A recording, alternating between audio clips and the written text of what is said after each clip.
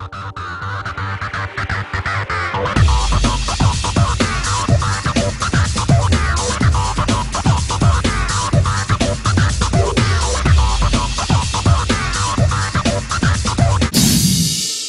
день, дорогие друзья. Им бы экономику взять и отменить, так и просится старая перепетая песенка из бриллиантовой руки. Я к чему? Я, мы сегодня хотим поговорить с нашим дорогим гостем Владиславом Жаковским. Добрый день, Владислав. Здравствуйте, Максим. Не о всякой этой фигне, там, типа допингового скандала, там, всяких переворотов, пучи, они уже теперь как, извините, как грозы каждую неделю уже привычные. Давайте поговорим о том, что касается всех нас. А именно вообще, что происходит сейчас вот по итогам полугодия 2016 года в экономике. Вот, вот действительно, от чего мы все зависим. Я смотрю, нам начинают бодро рапортовать о том, что у нас ВВП на полпроцента что-то подрос.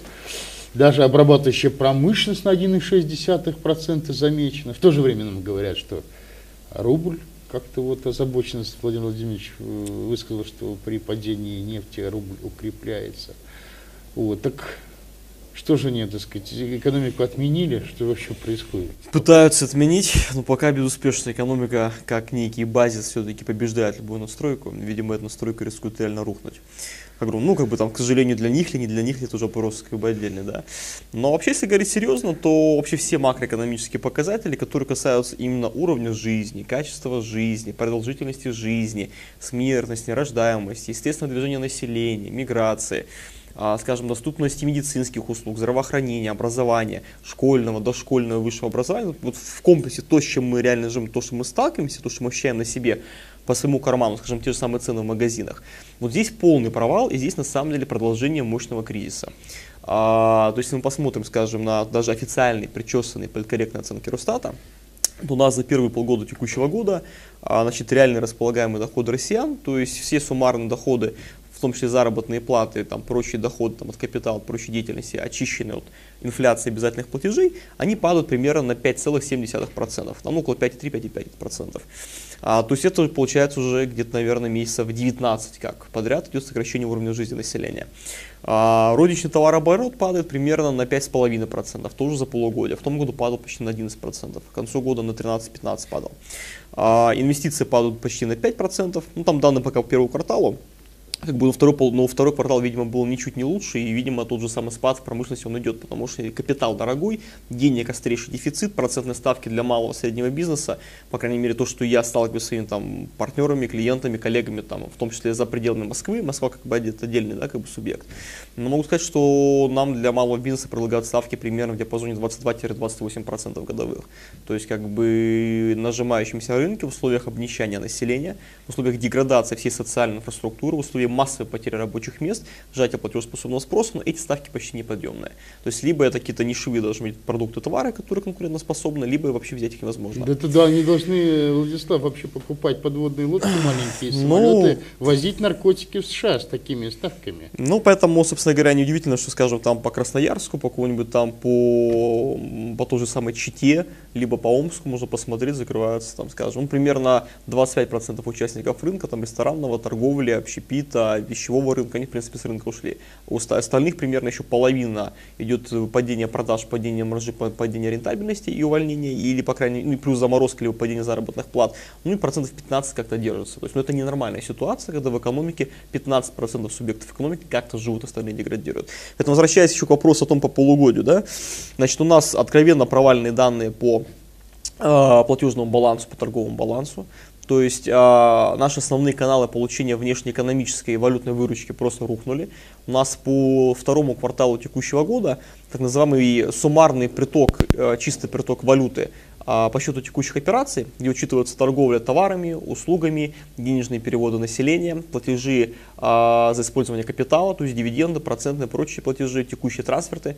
Здесь у нас самый худший результат – за 16 лет, за исключением э, второго квартала, типа, третьего квартала 2013 года. Такого вообще не было. То есть, а по второму кварталу это худшие данные там, с 2000-х годов. Такого не было. То есть 3,5 миллиарда долларов это чистый приток капитала по всем видам внешнеэкономической деятельности, не связанным с движением глобального спекулятивного капитала. Там тоже, кстати говоря, вывод из стороны денег, поэтому тоже очень хороший Сейчас, монет. надо объяснить, 3,5 миллиарда долларов минус Или всего лишь? Все-таки плюс, а, но я, чтобы было понятно нашим телезрителям, а в первом квартале было 6,5 миллиардов, а год назад, два назад мы, мы зарабатывали примерно 15-18 миллиардов долларов. То есть в 5-6 раз упал приток в страну Приток валюты, валюты. именно по текущим операциям. Еще раз, это торговля товарами, услугами, это оказанная работа, это туризм, это переводы населения денежные. Ну, вообще, на самом деле, как бы вот я про это много раз там выступал на лекциях, на семинарах, там, либо общался когда вот с аудиторией, рассказывал, что если мы просто возьмем платежный баланс, так называемый платежный баланс Центрального банка России, да, по методологии там РЭП-5 либо РЭП-6, ну, это данные, это стандарты МВФ, по большому Мгм. счету, и посмотрим, где мы зарабатываем деньги, то кажется замечательная ситуация, что мы деньги не зарабатываем вообще нигде, кроме одной единственной статьи. Статья называется «Экспорт товаров». Точнее, ну, это торг- торговый баланс, то есть единственная статья, где у нас экспорт чего-нибудь за рубеж больше, чем импорт оттуда чего-нибудь, где мы деньги зарабатываем. Вот по торговому балансу мы реально деньги зарабатывали, и зарабатываем. Другое дело, что раньше мы зарабатывали по торговому балансу в месяц примерно там около, можем сейчас ошибиться, но около там в моменте 18-22 миллиардов долларов, сейчас всего лишь 6,5-7. То есть все равно падение в три раза за два года. То есть денег даже там стало меньше. По всем остальным, денежные переводы населения, мигранты вывозят больше денег за рубеж, чем мы зарабатываем за рубежом наше население. Там в лучшие годы, да, в тучные годы разница была примерно 9-11 миллиардов долларов. Это огромные деньги. Это бюджет на сельское хозяйство годовой. На эти деньги можно было удвоить, даже там, утроить расходы на Даже в коммунальное лучшие- хозяйство. да, да. Даже в лучшие годы мигранты больше отсюда вывозили. Всегда, денег, да. всегда. Сейчас еще стали меньше, потому что вроде как упал рубль, можно меньшее количество рублей обменять на доллары, плюс Тем как бы иммигрантов да. они уехали, но все равно минус 5-7 миллиардов мы получим по году. Значит, э, здесь вывоз. По торговле услугами традиционно чистый вывоз, чистый вывоз капитала, причем в лучшие годы, в, в лучшие когда-то, да, которые миновали, он достигал, э, могу ошибиться, около 50-52 миллиардов долларов. То есть тогда это было полтора триллиона рублей, сейчас он упал из-за девальвации рубля. Но еще раз, то есть как бы вот товары, ту- ту- услуги туристические, транспортные, логистические, консалтинговые, рекламные, какие-нибудь консультационные, фин- вот какие вот угодно вот эти услуги, которые обслуживают бизнес населения, там всегда был минус, мы немножко зарабатывали на, на транспортных услугах, потому что, ну, гнали там лес, там, металлы, нефть и прочее, прочее. Вот, а, но там был всегда минус, причем минус очень большой, а, вывоз был колоссальный. А, то же самое касается, скажем, счета по выполненным работам, то же самое касается текущих транспортов, когда мы списали там, ну, это хотя капитально, ну, вот, вот, вот все, все статьи, которые там есть, в принципе, там везде минус. Скажем, еще очень большая статья была, так называемый сальдо инвестиционных доходов и убытков. Это тоже текущий счет, то есть это то, что мы получаем от размещения нашего капитала за рубежом, минус то, что мы платим зарубежным кредиторам, инвесторам, спекулянтам за то, что они в нас вкладывают деньги. Зачастую, кстати, наши олигархи возили деньги там с Кипра, с Лихтенштейна, с Нидерландов, там, с Багам, Бермуд, э, Британских Виргинских островов. Поэтому неудивительно, что 73% всех инвестиций за рубежа это были всегда, ну там до 90% инвестиций за рубежа это были кредиты и займы, даже до 93%. Э, И чаще всего это аффилированные структуры были, либо через банки проходили деньги. Ну и процентов 70-75 это были офшоры. Да, как бы понятное дело, что и иностранные инвесторы входили в Россию из-за офшоров, потому что российским судам веры нет. Они всегда оформляли все кредиты и сделки на а, англосаксонскую правовую си- систему, особенно там, ну, чаще всего был Кипр. Но, тем не менее, был некий баланс между тем, что втекло и что вытекло. Ну, мы на это жили. Простите, то есть, как бы, вот, вот э, еще раз, коллеги, кто хочет понять, что происходит в стране, надо посмотреть не только там динамику цен на нефть рублевую, о чем мы уже там года 2-3 с вами говорим в этой студии, пока показываем, что происходит, но просто открыть, скажем, там на сайте Центробанка России, либо других там, э, может, какие-то аг- агрегирующие, есть сайты, которые агрегируют макроэкономическую информацию и выдают уже готовые графики, таблицы, да, их там очень большое количество. Не будем заниматься их рекламой, но да, они есть, их легко найти. И построим просто график э, по, по квартальную динамику счета текущих операций, сальдо, то есть профицит либо дефицит, плюс либо минус. И там потрясающая картинка, которая показывает то, когда мы вошли, прошли Рубикон, прошли красную черту, когда вот эта точка невозврата была пройдена. И стало понятно, что экономика все на себя черпала. Вот этот вот нефтяной бобик сдох, нефтегазовый Титаник тонет, как бы шлюпок на всех не хватает, потому что спасутся миллионов 15-20 населения страны. То есть как бы это те, кто на трубе, это чиновники, бюрократия, аппарат, олигархи и как бы жены семьи наших там а, всяких там Ралдугиных, Ротенбергов, да. Вот. Остальные 120-125 миллионов, они идут по боку. В то время жить нормально могли миллионов 40-45. При такой нефти, как сейчас, и при тех 15-20. 15-20 это, это край, как бы это вот то, что это те, кто сейчас нормально живут, это те, кто как-то крутится и умудряется чего-то прокормиться еще, а остальных просто, просто денег нет на них. Просто как бы вот в рамках этой деиндустриализированной, офшоризованной, экспорт, экспортно ориентированной, низкопередельной сырьевой экономики трубы, просто она не способна прокормить больше. У нас всего, извините меня, взять всю нашу экономику, там она 80 триллионов рублей. Если ее там разделить на всех там 146 миллионов россиян и еще там, собственно говоря, поделить это все на, по, по месячной динамике, то получится, что мы в месяц можем ВВП весь разделить примерно по 40, по-моему, 2000 рублей. Это немного на самом деле. Я понимаю, Это что ВВП. ВВП весь. Вычтите отсюда. А оттуда еще инвестиции, госрасходы, налоги, импорты, которые из страны уходят, вывоз капитала. То есть даже если все взять, это все равно, как бы, честно, это позорно мало. То есть, как бы мы понимаем, что да, даже эти 40 тысяч рублей на самом деле самое интересное, но что публикуют данные. Это 15 тысяч ру- рублей отсюда останется на потребление человека. По большому счету, ну, только поэтому, знаете, вот если посмотреть даже официальные данные Росстата, то у нас а, э, зарплату в 33 тысячи рублей, среднюю зарплату по стране, не получают 75-77% россиян, а у половины населения страны, так называемый медианный доход, он примерно около 21-22 тысяч рублей. Когда я там приезжаю куда-нибудь там там, в Иркутске, в Улан-Удэ, где-нибудь там, а, ну, Красноярск меньше, ну, там какой-нибудь даже, ну, не Самара тоже отличается, но какой-нибудь такой депрессивный нормальный городок, то зарплата 15-20 тысяч рублей, это то, о чем люди мечтают. Там люди выходят после окончания университета, закончив, да, я понимаю, что это, конечно, там может быть не МГУ, это может быть там не МГИМО, не Высшая школа экономики, какие-то другие вузы, да, которые более престижные, может быть, известные. Ну, получают они Но люди 5 лет отучились, они как бы ходили, то есть они писали какие-то курсовые работы, дипломы, там плохо, что, ну, 10 тысяч, 15 тысяч рублей. лю- ну, я знаю людей, которые выходили на ставку 8-10 тысяч рублей. То есть на пересчете на советские зарплаты для нашего поколения это 8-10 рублей. Ну, в Советском Союзе была минимальная зарплата 60 рублей. Минимальная. Больше, ну, 60 рублей считалось нищенской. То есть сейчас люди реально живут на зарплаты где-то, ну, где, ну может быть, не 8-10, но 12-15 советских рублей. Ну, Это ни о чем. Это- Это, это, это- мог, э, ну, я знаю по своим родителям, которые подрабатывали, будучи студентами, ну, как бы там, ну, зарабатывали больше. Те, кто даже могли как-то Ну, 40 подсуетиться. рублей стипендия вообще. Ну, да, я продаю, что стипендии были как минимум 35-40, Советских еще как бы могли да. бы заработать. Я теперь, э, Владислав, не, не, не так сказать, совершенно не удивляюсь, ну и раньше не удивлялся. Я в Орле увидел новые продукты, спреды. Спред крестьянский Да, да. за 10 рублей пачка. Это продукт, который сделан, это не масло, это, это суррогат масла, это фактически рыбий жир взбитый или там, так сказать, э, говяжий, например, жир. Это уже не сливочное масло. То есть все, пошла Ну, масса- это вторсырье, это Э, вторпереработка. То есть пошло массовая ф- фальсификация продуктов для того, чтобы обладатели зарплат там в 10-15 тысяч могли хоть что-то купить. Максим, Это вот понятно, еще раз, да, это такая нормальная, тип, как нормальная в кавычках, это не нормально, это плохо, это такая типичная толполитарная быдло феодальная система выстраивается по-хорошему. То есть как бы когда понятно, что вот эти 80% они будут оскотиниваться, они будут дебилизироваться, они будут их надо держать их злыми, голодными, озлобленными на весь мир, недовольными Госдепом Европа, Америка, Китай, везде все наши враги, как бы понятно, только вот там правящая тусовка хорошая, и вот э, как бы пускай они будут бедные, нищие, ну как бы вот как бы ничего не случилось, иначе будет только им для них хуже, когда им как рассказывают. Поэтому неудивительно, что у нас, скажем, в Минобразовании говорят о том, что якобы для трети, всего лишь треть населения страны имеет смысл получать высшее образование. Хотя уж я понимаю, что у нас высшее образование крайне низкий уровень, я как бы сам заканчивал университет и преподавал, лекции, семинары. Да, оно падает даже в самых ведущих, самых престижных вузах, да.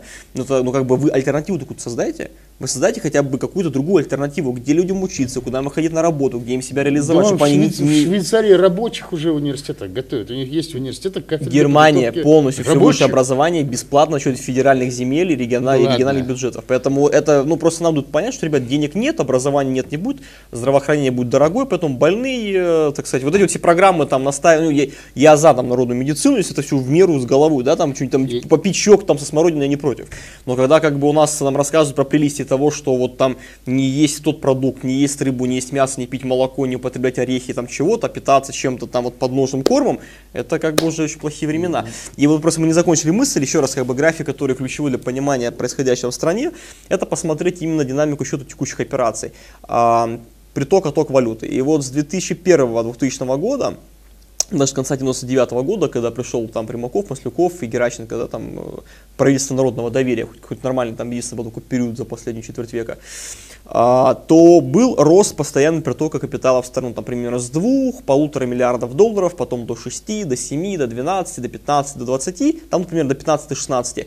И потом в 2008 году, в 2009 происходит слом этой модели, то есть как бы график был растущий, растущий, растущий, и с 2008 года, потом овал 9 года, отскок 9, 10 и вниз вниз, вниз, вниз, вниз, и, в принципе, канал сужающийся и все время идет вниз. И вот сейчас по второму кварталу мы ушли на 3 миллиарда долларов. 3 миллиарда долларов – это приток капитала по 2001 году. А в 2013 году был отток капитала по текущему счету, чего не было 16 лет с дефолта 98 года. И то есть, в принципе, мы идем вниз, и вон там уже пропасть. И вот эти вот все, вот, вот все, что там, э, системный кризис 2011 года, про который мы говорили, падение продаж и производства автомобилей с 2012 года, э, собственно говоря, когда экономика, когда перестали расти доходы, заработные платы у подавляющей части населения страны в 2012-2013 году, это все не случайно. Просто вот эта система олигархическая, феодальная, она не способна прокормить этим капиталом вот эту всю массу. И просто вот если график этой истории смотреть, то понятно, куда мы идем. Впереди. Дальше тенденция на то, что... Денег нет. То, то есть, на них приток, денег нет. Приток капитала, понятно, приток э, сюда валюты. Еще раз, не спекулятивно, а именно то, что мы реально зарабатываем от продажи товаров, услуг, там нашей рабочей силы и ну, прочее, а прочее, прочее. Что говорить, сейчас будет исчерпан тот самый двухлетний срок, о котором говорилось в конце 2014 года на прямой линии, там художественно промышленной палаты с народом, вот, э, что два года подождем, там э, нефть, собственно говоря, не будет ничего. Все, нефть мы видим 40, 45 долларов, 46. Кому интересно, просто посмотрите данные, значит, а, еще раз эти данные, по-моему, не озвучивали, еще раз напомню, что у нас по там, маю, апрелю, июню, неважно какие месяцы, а, приток э, валюты, то есть так называемый профицит, чистое положительное сальдо по торговому балансу, то есть экспорт товаров минус импорт товаров, составил примерно там 7-7,2 миллиарда долларов. В моменте был 6,5 даже пускался. Это худший показатель с 2009 и с 2005 года, 2004 года он упал за последние три года более чем а, в два с половиной раза. И дальше съеживать импорт тоже некуда.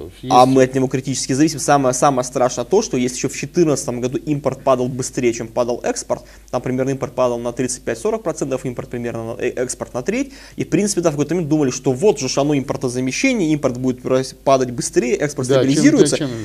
А, а 15 год и 16 показывают, что все это полная туфта. Конец 15 года и начало 16 что это не работает, потому что зависимость от медикаментов, субстанций, полу, там, э, полуфабрикатов, э, комплектующих, расходов материалов, упаковки, чего угодно, настолько высок, что сегодня экспорт падает на треть, а импорт падает всего лишь там, на 18-20%.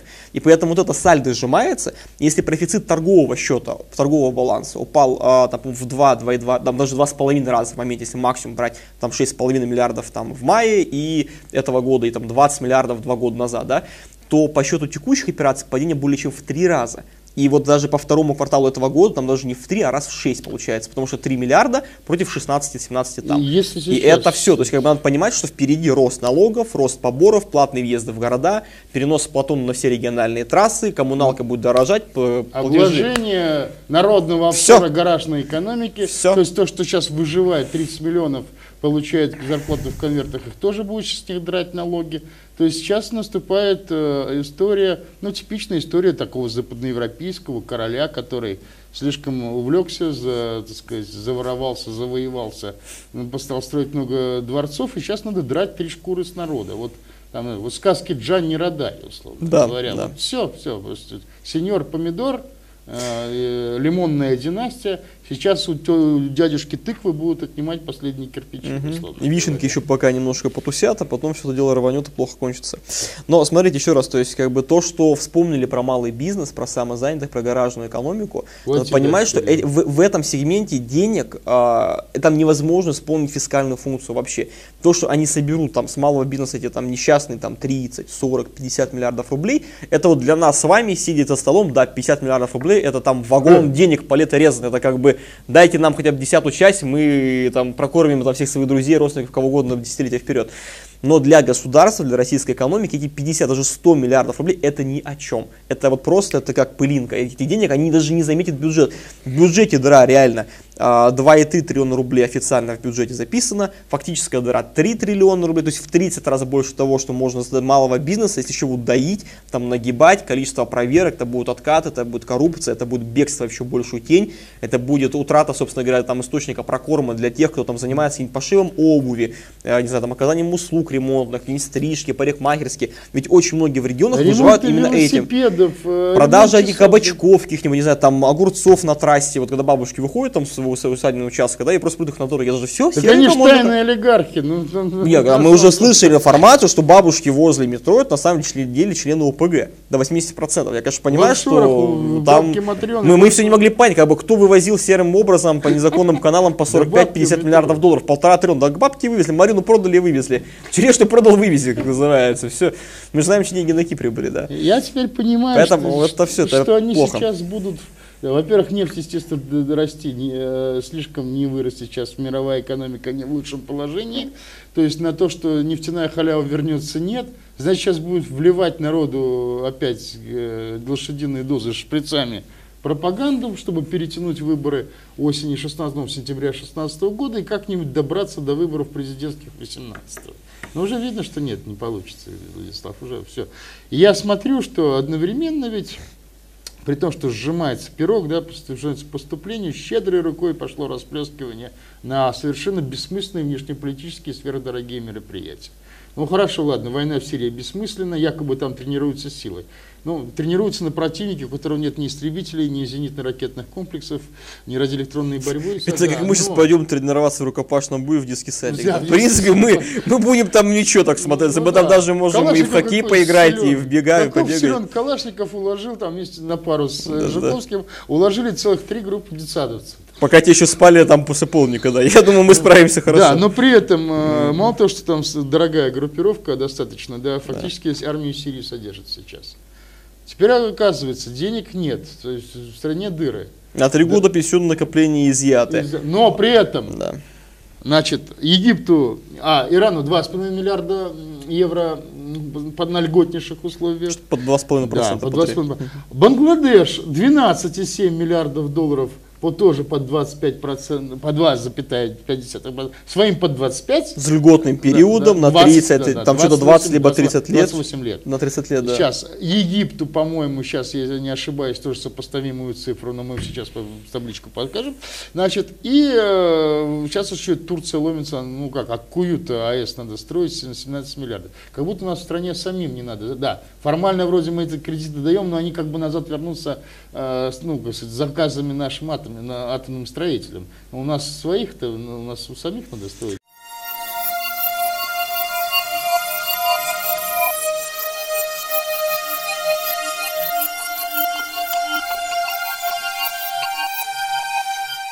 Страна абсолютно не обустроена, где в аварийном состоянии находится почти вся базовая технологическая инфраструктура, дороги, порты, собственно говоря, железные дороги, не знаю, там вот, вот все что угодно, же куда ни атомные плюнь. энергоблоки Атомные требуются. энергоблоки, те же самые про то, что говорили в Институте э, естественных монополий, там энергетики при Академии наук, какие- ну то есть эти доклады все есть, можно посмотреть.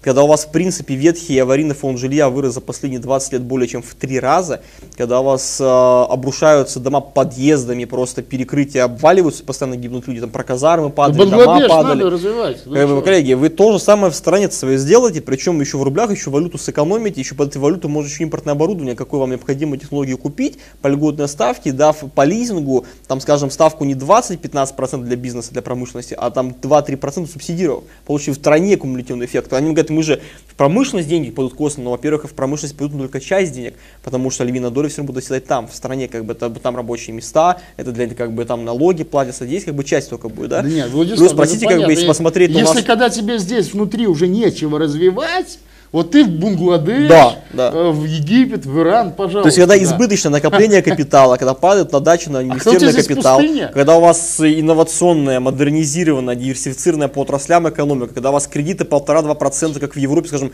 сейчас в Чехии ипотека 1,75% годовых, в России ипотека средняя 12,85%, но это официально, а если у вас доходы там ниже определенного уровня, маленький первоначальный взнос и сложный, нету гарантии поручительства, в принципе, ставка 13,5-14%, бывает, что даже и выше в регионах.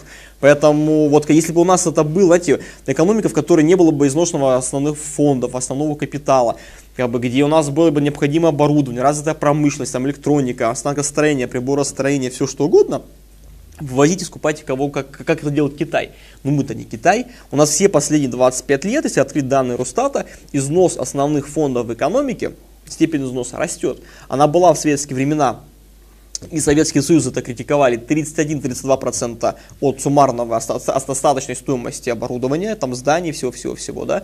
А в 70-е годы она была около 25-26%, к 99 году износ вырос до 38-39%, к 11 году до 43%, к 16 году до 50%. То есть вопрос, так сказать, заработали на продаже нефти, газа и нефтепродуктов в 3 триллиона 100 миллиардов долларов за последние 16 лет при вот нынешней власти, да собственно говоря, еще а там металлы, химия, нефтехимия, прочее, еще полтора триллиона. То есть мы суммарно экспортировали всего за рубеж 5 триллионов, по-моему, 100 миллиардов долларов, там 5200 где-то.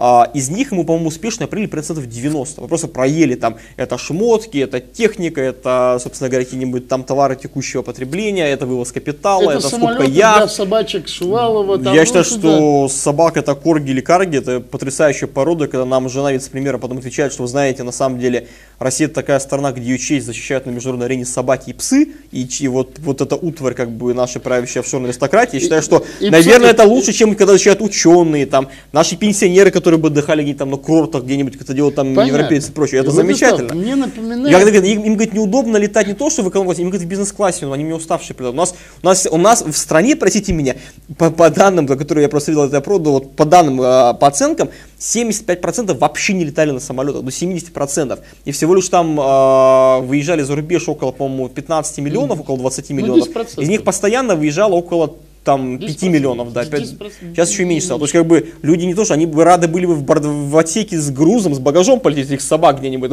не говоря про эконом-класс, а там, собственно говоря, бизнес-джеты. Владислав, мне очевидно, что сейчас экономика, вот Российской Федерации, экономика похожа на самолет, у которого бак пробит, то есть бензин просто там, керосин вернее, да, керосин. авиационный, вот шлейфом за самолетом снижающимся таким идет.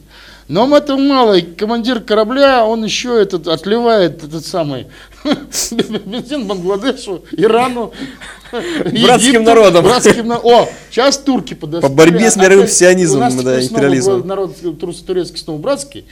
Я, я, я не знаю, кого ненавидеть, я просто путаюсь. Дайте мне какую-то справку, что ли. Потому что месяц, там, год назад они были друзья, через там полгода они были враги. Вчера они стали друзьями, мы их, мы их сейчас спасли, оказывается. Конечно, не верю, естественно, ни в какое там народное возмущение. Прекрасно знаю силу пропаганды и силу атомизации сейчас общества. Но в средние века она тоже была, так сказать, не всегда идеальным. Но я знаю, что все сейчас четко идет к сценарию вот этого вот средневекового монарха. А может быть, я бы еще назвал условно э, сценарием Алексея Михайловича, ну, отца Петра Первого, естественно, вот, который у нас, так сказать, э, во время, извините, тяжелой войны, кстати, тоже за Украину, и заодно за Прибалтику, он одновременно пытался, значит, воевать, да, в Прибалтике и на Украине, да, в Малороссии.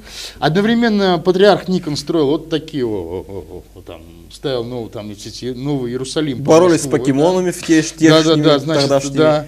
И, значит, э, то есть шли затраты туда-сюда, ну и, соответственно, аппарат приворовывал. В результате что? Начался экономический... Бедный народ, голодный народ. Медный бунт. Да, пытались, да. пытались заменить Соляные... деньги медными, серебряные и золотые медными деньгами. Ну, естественно, торговцы понимали, зарплаты, если говоря, жалование платилось медными, торговцы принимали только золотые Не дураки, конечно, дураки. Просто еще разок, а, воевать с глобальным злом, воевать с мировой закулисье, воевать с комитетом 300, с мировым сионистским бандеро-фашистским режимом, это здорово. Вот я за, пускай что хотят творят, но только не с голым задом, только не с населением, где 8% реально в нищете и в бедности. Ну, Когда вы приезжаете в какой-нибудь провинциальный город, типа там, не знаю, Байкальска, какой-нибудь там Боярска, Слюдянки, там в Иркутской области, там, извините меня, вся молодежь, которая не виноваты в том, что они там родились, да, какие у них родители их не выбирали там, да, а, все дружно ходят, торгуют рыбой и там кедровыми орехами на вокзал, потому что просто нет другого источника существования, они не могут заработать никак по-другому деньги, и они сами себе зарабатывают на школьные портфели, на тетрадки, на ручки, на карандаши. Владислав. Я этих людей как бы сам много раз видел, как бы, более того, я их даже в детстве и знал. Владислав, ну я нашу власть, естественно, стал называть с недавних пор художественной пропагандистской палатой, КПП. Вот, значит, и что они попытаются сделать? Вот что, что вот у тех, у кого еще какие-то остатки денег сохранились. Я так понимаю, что они сейчас попытаются опять решить проблему за счет девальвации рубля. Им понравилось девальвацию устраивать. Вот. Все время кровопускание, эти девальвации, что сейчас людям э, действительно пользуясь затишьем покупать. Да, мы сейчас мы доллары, про это скажем доллары. там, про нефть, про процентные ставки, но смотри, еще раз, это очень важная вещь. А сейчас Ну, будет после такая... выборов пойдет. Сейчас, сейчас девальвация, после выборов вообще все движухи будут в октябре. До октября будет держать просто рубль максимально дорогим, процентные ставки максимально высокими, денежную массу зажимать, кредит дорогой. Когда, понимаете, почему рубль сегодня крепок? Потому что денег в экономике лишних нет вообще. Вообще просто нет денег никаких. Нет оборотного капитала у тех, кто за пределами экономики трубы и кто не пилит бюджет и не из госбанков, и не из госмонополий. Все, у них денег нет. Нам говорят, вы знаете, там скопилось на там, э, расчетных счетах э, наших российских компаний 20, там, 3 чем-то триллиона рублей, из них там долгосрочных денег там такая-то сумма, там несколько триллионов, вот они деньги есть, возьмите. Кто даст, какой дурак даст из э, там Роснефти, Газпрома, металлурги, какие-нибудь алюминщики, кто из них даст деньги, какие-нибудь там мелким Электронщикам, электронщикам, промышленным, кому они сдались, что, и вы что, говорите, идиот, что ли? Мы, говорит, проще валюту купим, откроем счета и будем в них сидеть. И мы, за, и мы видя, что было там, какой курс был в 98 году 6 рублей, какой курс был в, 90 в 2008 22 рубля, в 2013 году 31 рубль, и сейчас там 65, а был 85, конечно, проще валюту купят. Рентабельность инвестиций просто ну, в разы выше и рисков ноль. То есть они сейчас дождутся, Конечно. когда пройдут выборы 18 сентября, в Думу там дадут ну, нужный процент партия э, честных людей, э, и едино- единых честных людей, и потом вот этот навес э, рублевый рухнет на... Они будут вынуждены просто пускать трубы. То есть, если посмотреть, что сейчас происходит, то все а, такие глобальные финансовые индикаторы стоят сегодня против э, риска, против валюты. Да? То есть, вот сейчас турецкая лира обновила абсолютно исторический минимум по отношению к доллару. Американский доллар развернулся, стал тоже подрастать по индексу доллара к шести валютам.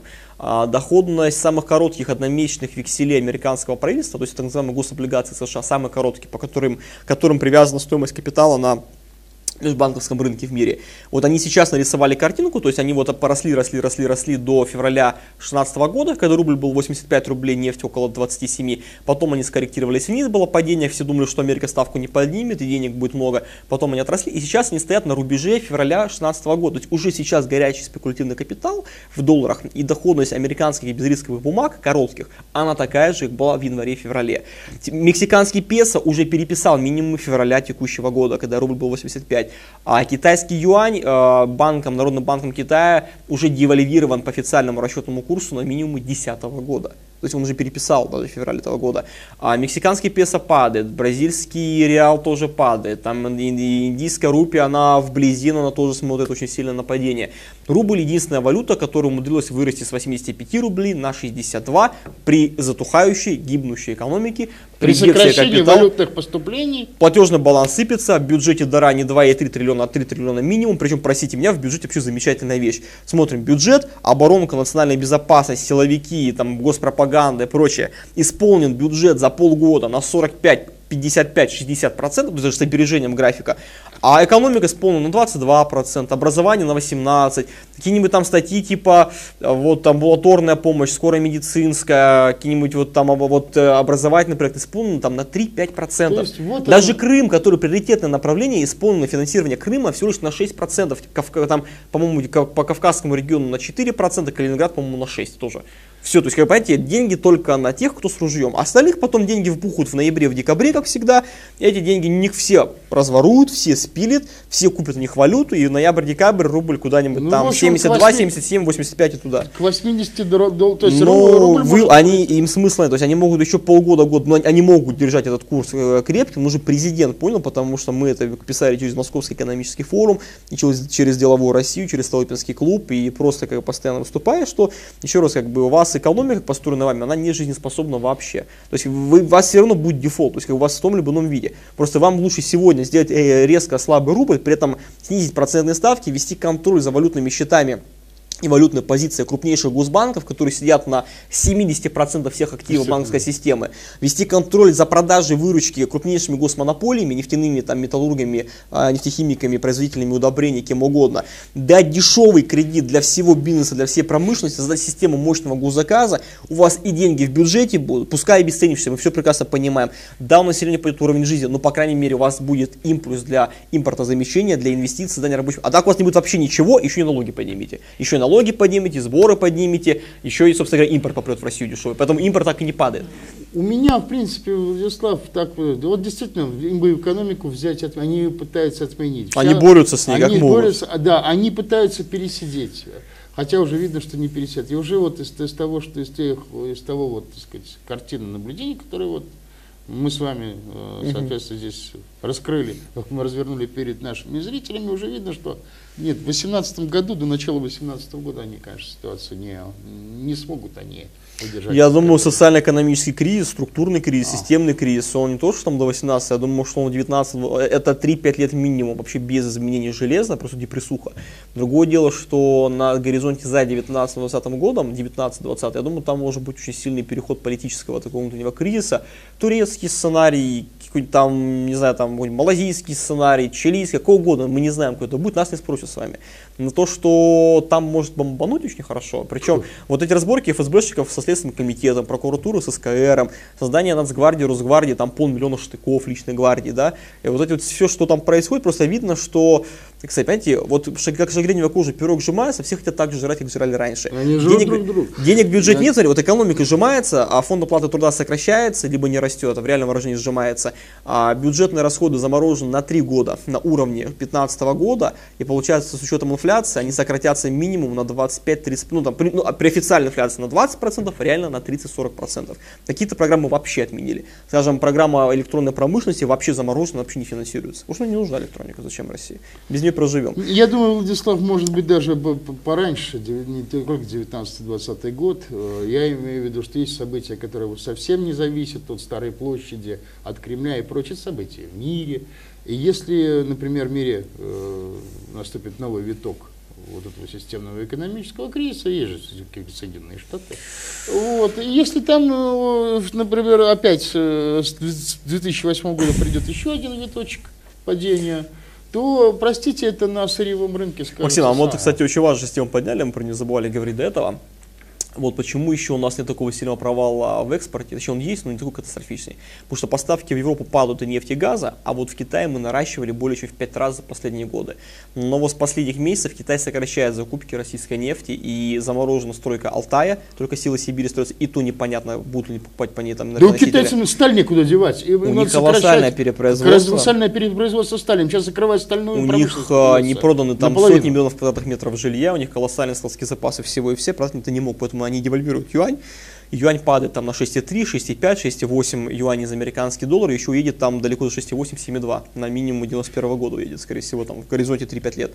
Вот, но проблема-то в чем? Для нас не только, во-первых, нефть может уехать, я думаю, к концу года легко ниже 42, ниже 37-33 долларов за бочку, но ко всему прочему, что почему это будет хуже, чем было год назад, Китай сократит физическое выражение закупки нефти, причем там процент на 5 на 10, но это психологически будет удар еще больше по сырьевым рынкам, что Китай впервые за десятилетия полтора-два, даже за три, сокращает закупки энергоносителей. И вот это может настолько перевернуть парадигму финансового рынка. Я уж не говорю про то, что, в принципе, э, если мы посмотрим там, на финансовые рынки, то, о чем я говорил, доходности американских гособлигаций короткие растут стоимость американского доллара на межбанковском рынке в Европе, так называемая ставка LIBOR а, в американском долларе трехмесячная, это, это ключевой бенчмарк, это ключевой индикатор стоимости денег мировой экономики.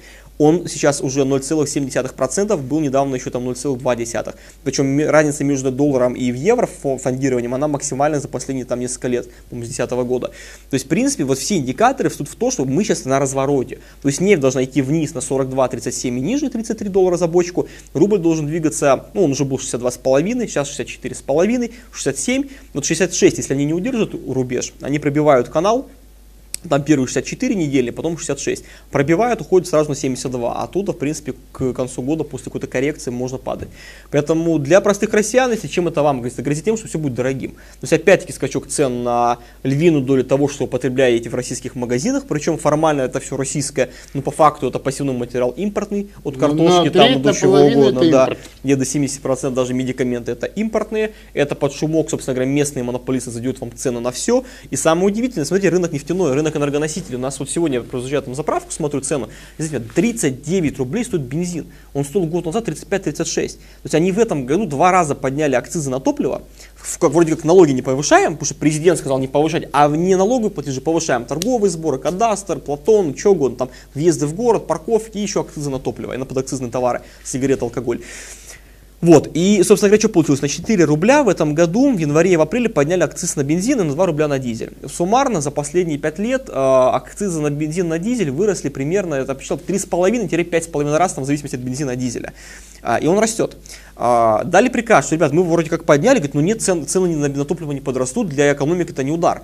Но они-то договорились с нефтяниками до июня-июля, и первый скачок цен на нефть, на, на бензин на внутреннем рынке пошел именно летом. Но сейчас уже подскоч, подскочили там на рубль полтора. К концу года еще 2 рубля после выборов мы нарисуем. А это автоматом... А это разгон, разгон по всей цепочке. А это маховик. Все. Это маховик инфляции, это просто свежего воздуха в котел дунуть, еще туда плеснуть бензина, керосина, и как бы в купе там с девальвирующей... То есть издержки в небо, доходы населения в пол, платежеспособность спрос сжимается, потребление сжимается, а на фоне падающего общего потребления на 5%, надо удивляться, что у вас падает на 5% инвестиций. А кому продавать это все собираетесь? Значит... Не проблема произвести в нынешнем мире, проблема, для нас еще проблема произвести, а проблема продать рынок сбыта, логистика, транспорт, хранение и суметь это сделать конкурентоспособным. Ну что ж, мне самому, в общем-то, интересно, если это уместно это слово, чем кончится эксперимент при разваленной экономике. Экспериментом кончится эксперимент. Можно ли, можно ли усидеть на каких-то там штыках, репрессиях и прочее, на которые тоже на самом деле нет средств. То, что сейчас пошла, э, пошел приближение к сценарию медного бунта 1662 года, когда, в общем, страна перенапряжена, у нее экономика uh-huh. упала, это, просто этот бунт может выродиться, скорее всего, в драку элиты. Как всегда, как всегда. За, за, за тот, за, за... Народ не проснется, народ не проснется, к сожалению. То есть те, кто просыпается, очень много Он проснется вижу, потом, когда проснется потом в, в, и просыпается малая часть, я когда иду там по городу, по набережной, в аэропорту, где угодно, даже вот там получал эти самые там права, не права, господи, а номерные знаки на машину, море людей, которые там общаемся, которые узнают, но их мало, потому что остальным просто, простите меня, просто по фине. Что происходит, мы как-то сами, мы по себе. Пока наша хата с краю, дом сгорит весь, все село сгорит, это понимаем. Мы, мы сгорали много раз в нашей истории, мы, видимо, еще раз, к сожалению, можем так сгореть. И... Но самое интересное, я просто общался с некоторыми так называемыми политологами, политологами кремлевскими, и, и они уже, Эрдоган брат, Турция брат, все там многоходовка, мы всех переиграли, это был расклад, он наш человек, в общем, все гениально. И летчиков сбили какие-то там провокаторы Гуздепа, это, это все как бы, это все понятно. Хотя премьер-министр Турции говорил, что он лично давал указ о, якобы о том, чтобы сбить это, и лично радовался этому.